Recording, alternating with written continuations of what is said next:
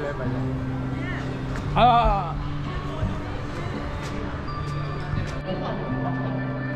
เหรอ วิหารกานาดา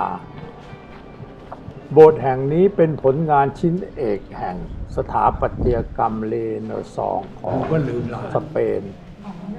เป็นที่รู้จักเพราะมีหอสวดมนต์อันงดงาม คอลเลกชันของงานศิลปะเป็นที่พัก ผ่อนชั่วนิรันดรของพระราชินีที่ได้รับการ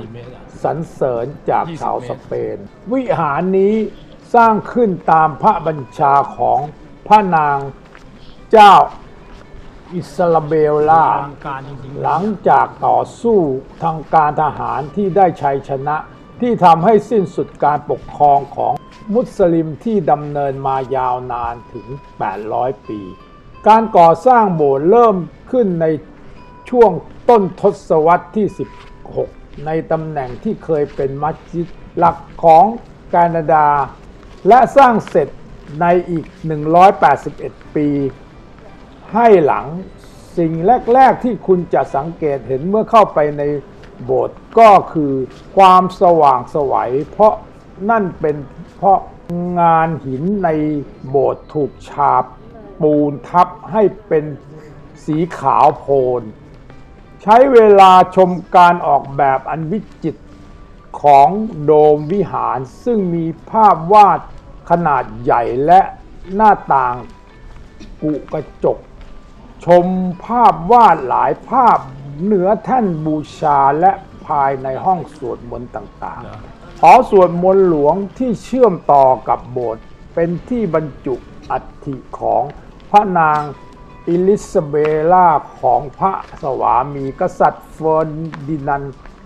ทั้งสองพระองค์ได้รับตำแหน่งเป็นพระมหากษัตริย์จากสันตะปาปา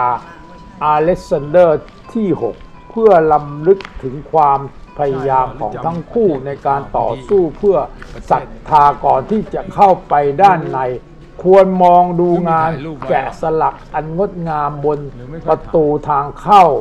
แบบกอธิกเมื่อเข้าไปแล้วชมคอลเลกชันงานศิลปะส่วนพระองค์ของพระราชินี ซึ่งเป็นผลงานของศิลปินชาว สเปน อิตาเลียน และเฟนมินเป็นคุณจะเห็นดาบของกษัตริย์ฟลอรินานตลอดร้องเพลงจนมงกุฎ และคาถาของพระราชินีศาสนาอิ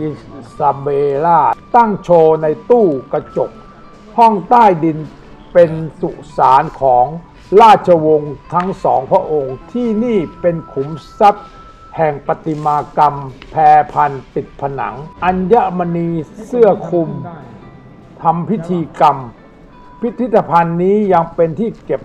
ภาพวาดทางศาสนาที่มีความสำคัญหลายชิ้นจากทศวรรษที่ 16 17 และ 18 โบสถ์นี้ตั้งอยู่ใจกลางเมืองแคนาดา